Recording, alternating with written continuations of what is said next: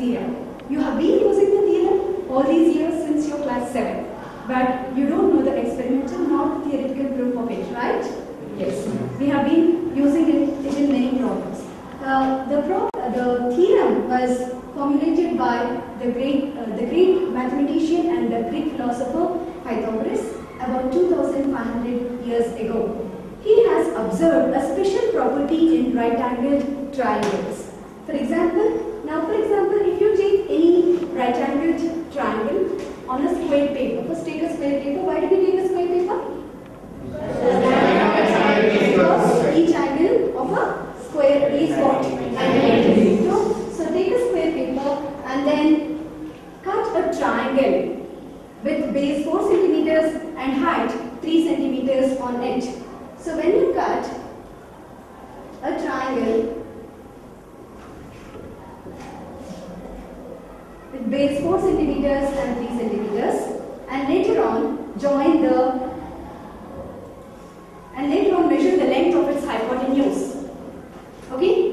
When you measure the hypotenuse, Pythagoras has observed a special property. He has observed that the square of the hypotenuse is equal to the sum of the squares of the other two sides.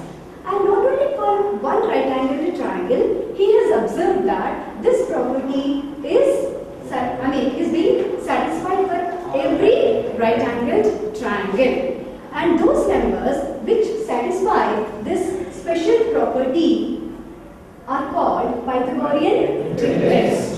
And they are named by this name because he was the one who discovered this special property. So 3, 4, 5 is a Pythagorean triplet. Okay? So this was formulated around 2500 years ago. Imagine how imaginative and creative our mathematicians are at that time itself. Okay, so after that, many, many mathematicians worked on, uh, worked on this proof, and we have so many, I mean, thousands of proofs on Pythagoras theorem. 345 is a Pythagorean triplet, and he has observed that the multiples of Pythagorean triplets are also Pythagorean triplets. Okay, like if 345 is a Pythagorean triplet, just give me one multiple of that triplet. 6, 8, 6, 8, 10 is a Pythagorean triplet. Give me another multiple. 9, 9,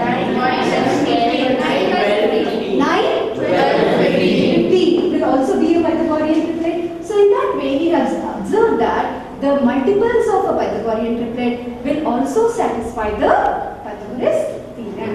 Okay, so this is what is the Pythagoras theorem. So can you just tell me in your own words what is the Pythagoras theorem? In a right triangle. In a right triangle.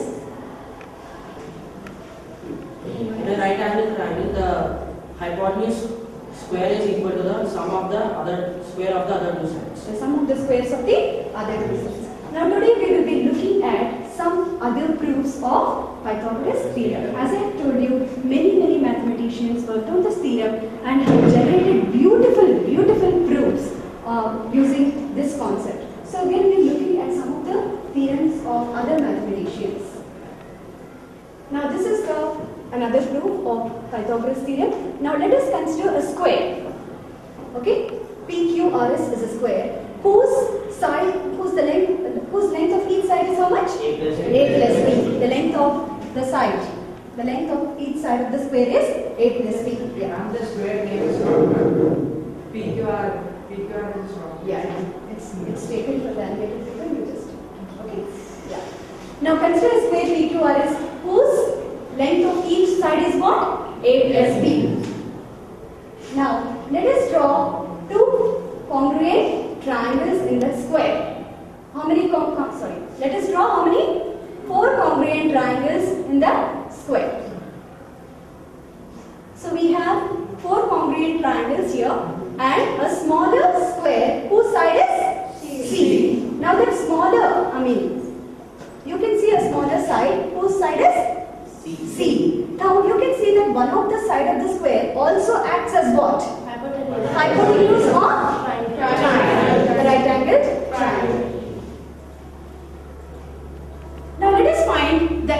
this square. Can anybody tell me what is the area of this square? Ravali? This equals square. Yes? Yeah. Can anybody uh, give me the expanded version of A plus B whole square? Yes. So the area of this square is what? A square plus 2AB plus B square. Now, I think we have already done something on the square. This square is. Now let us also find the area of this square using what? The four triangles, uh, four triangles as well as the square. Can anybody tell me what would the area of four each triangle be? What is the area of each triangle? Sandy? Half of it. half AB. So what would the uh, area of all the four triangles be? Two A. 2AB. 2AB. And what would the area of the square be? Lovin? Yes, Pushka? Area of square is the Here, in this case. A square whole square. In this case, what is the area of this square? C square. C square. So what is the area of this complete figure now? 2AB square. 2AB C square. Now don't you think the area of this and what we will do is equate the area of this original square to the area of all the triangles as well as the new square that is formed. So we will equate, so the area of square PQRS is nothing but what? 4 into AB by 2 because the area of each square is AB by 2. So it is the area of all the four squares would be 4 into AB by 2 plus C square. So what would that simplified form be?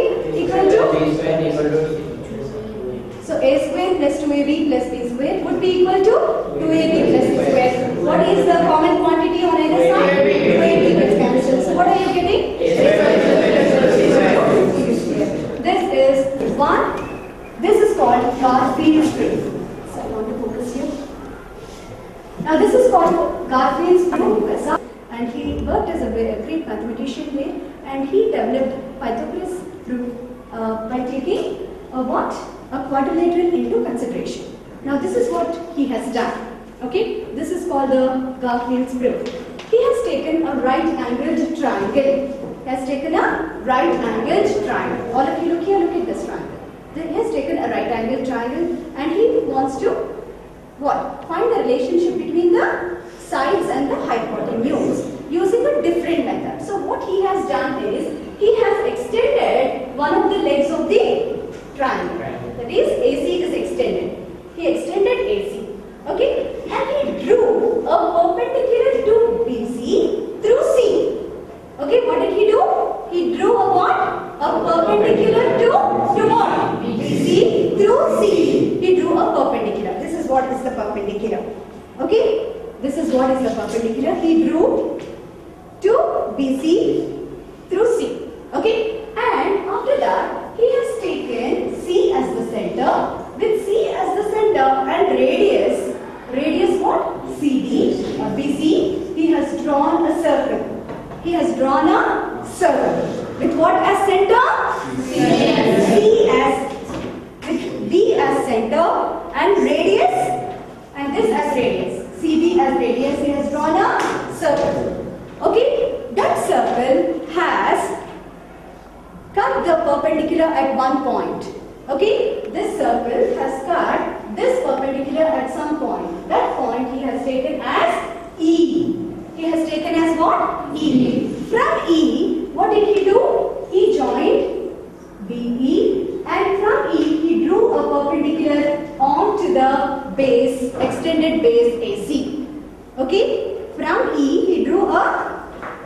perpendicular onto the extended base to intersect the base at D. To intersect the base at D. Now he joined AD. Now what kind of a figure did he get after doing this? A quadrilateral. What kind of a quadrilateral is this?